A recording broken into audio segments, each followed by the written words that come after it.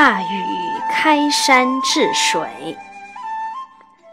自从大禹俘虏了怀涡水怪吴之奇，讨伐了让洪水泛滥的元凶共工以后，大禹便开始着手治理洪水了。一天，大禹正在黄河岸边观察水势，突然从波涛中跳出一个人面鱼身的怪人。怪人手捧着一幅河图，献给大禹。据说呀，他就是河伯冯夷。这幅河图上画的是中原这一带的大小河道的流向以及水势的情况，图上还标明了一些洪水容易泛滥的河床和地段。大禹高兴万分，他重谢过河伯，又一路往东赶。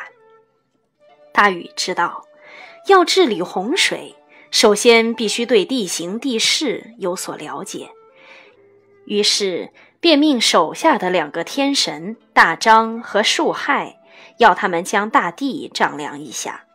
天神大张从东极走到西极，量得的结果是两亿三万三千五百里零七十五步。而天神树亥则是从北极走到南极，其结果不多不少，也是两亿三万三千五百零七十五步。天神大张和树亥不仅丈量了大地，而且还发现，在这广阔的大地上，除了纵横交织的河流以外，还有无数个三百仞以上的洪渊。在中国古代呀。八尺是一仞，那三百仞呢，就是两千四百尺。要想在这样广阔的大地上把洪水制服，可真不是件容易的事儿啊！这天，大禹正在龙门山观察地势，住在龙门山山洞里的伏羲便把自己发明的八卦图和玉简拿给大禹，告诉他。天地风雷水火山泽等各类自然物的性质和怎样制服、利用它们的方法，而那支玉简则能精确地丈量山川土地。治洪的工程开始了，大禹亲自拿了镐头、本机，率领着成千上万的人挖湖、筑堤、运土、填渊。大禹的行为深深地感动了天庭的神仙们，大家纷纷前来助战。就连曾经为鲧托运西壤的神龟，也自告奋勇地来帮忙。他一次可以驮运一座山丘，就是百仞的深渊，他只要来往运上几次土石，就给填平了。天神应龙也帮了大忙。应龙是条有神力的巨龙，它长着一个比钢铁还坚硬的大尾巴。它用尾巴扫地，一天之内就可以疏通几条大河。在治水的过程中，最艰巨的工程便是开凿龙门了。龙门这座高千仞的大山，横亘在黄河中间，挡住了奔腾直下的河水的去路。因此，河水只能从山脚下一条很窄很窄的河道穿过。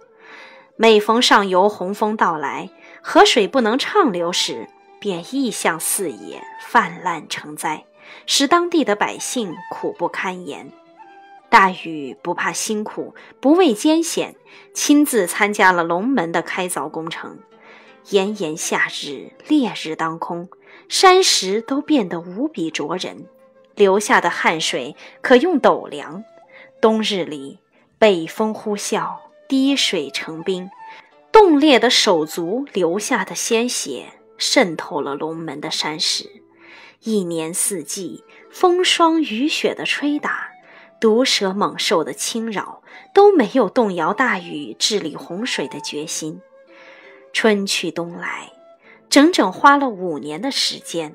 大禹终于把巨大的龙门山凿出了一道豁口，使河水得以畅流而下。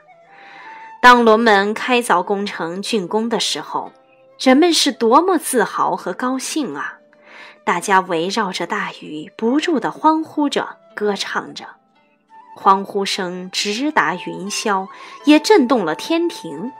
天帝往下一看，嚯！这一看不要紧，真正吓坏了他老人家，因为他从来没有料想到百姓会有这么大的力量，不禁对自己原来所做的一切后悔不已。后来，龙门也就成了一个很神奇的地方，黄河鲤鱼每年春天都要来到山下聚会。然后争先恐后的向龙门上游的河水中跳跃。据说，凡是可以跳过龙门的鲤鱼，便能够变化成龙；跳不过去的，往往会碰得头破腮裂。尽管如此，鲤鱼们还是会去试一试的。